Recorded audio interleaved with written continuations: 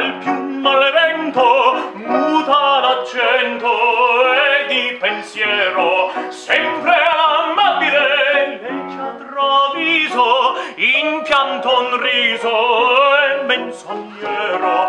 La donna è mobile qual più malevento muta l'accento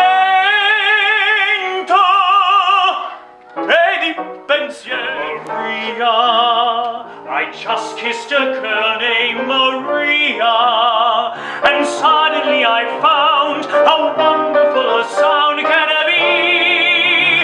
Maria, say it loud and there's music playing.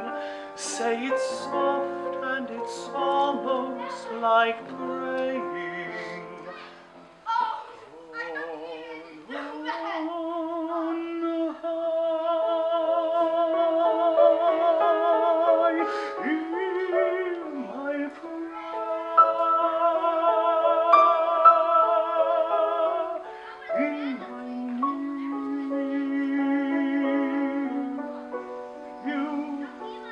always